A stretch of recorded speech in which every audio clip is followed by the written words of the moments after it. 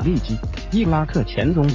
一九五零年，他生于一个什叶派家庭，拥有阿拉伯语言文学硕士学位，曾在伊拉克教育部工作。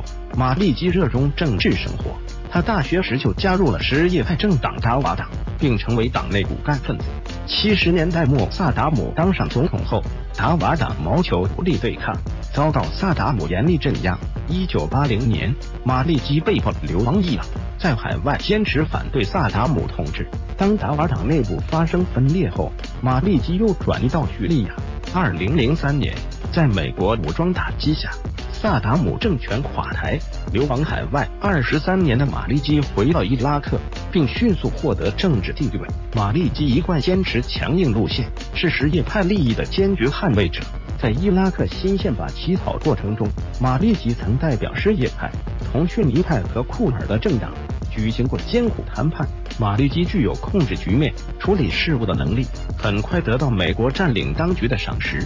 二零零六年五月，在美国扶持下，他出任一战后首任政府总理。在处置萨达姆问题上，新政府内部存在重大分歧，马利基秉承美国意志，不顾逊尼派官员强烈反对，最终将萨达姆处死。小布什对马利基表现很满意，坚持每周都同他召开视频会议。不过，马利基对小布什并非完全一从。二零零七年秋，小布什与马利基开通电视会议，双方签署一份原则宣言。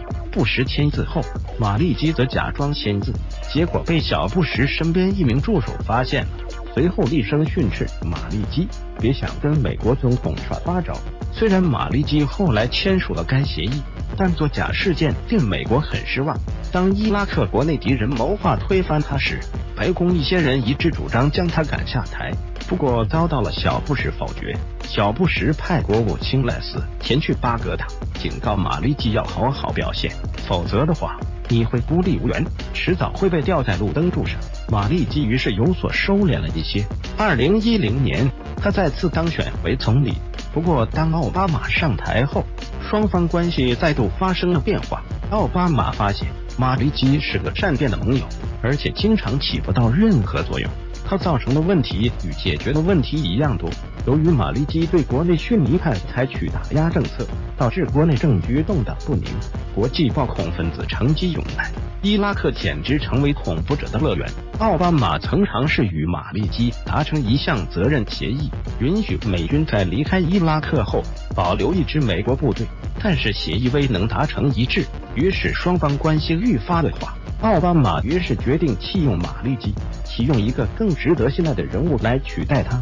二零一四年八月，在美国授意下，伊拉克总统马苏姆提名阿巴迪出任新总理，马利基拒绝接受这一结果，使得总统马苏姆违反宪法。并派遣忠于自己的安全部队把守收都巴格达战略区域，引发人们对巴格达局势的担忧。但随着支持者不断减少，以及美国的强大压力，马利基被迫命令部队撤退，黯然宣布放弃寻求连任。